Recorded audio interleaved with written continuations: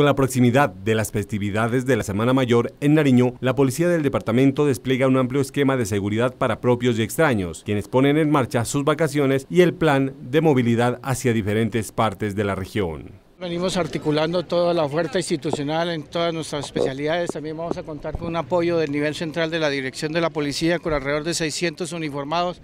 que van a estar garantizando la seguridad de los centros religiosos y las vías del departamento total compromiso de la fuerza pública, nosotros estamos en capacidad de garantizar la seguridad de todos los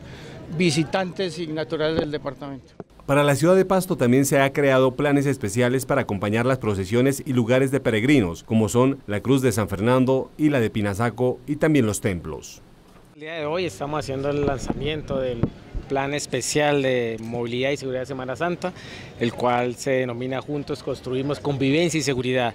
Tenemos un dispositivo especial solamente para el área metropolitana, 614 hombres con un dispositivo especial en cada uno de los sitios que, donde más influencia público hay, no solamente en el acompañamiento de todos los feligreses, sino también a todo el tema del turismo y al tema de sectores, digamos, estratégicos de la ciudad, como son las plazas de mercado y los hoteles, donde también estaremos haciendo los trabajos especiales allí con las diferentes especialidades. En esta Semana Santa se busca brindar una seguridad especial al comercio y al turismo, donde se espera la aglomeración de personas del centro del país y Ecuador.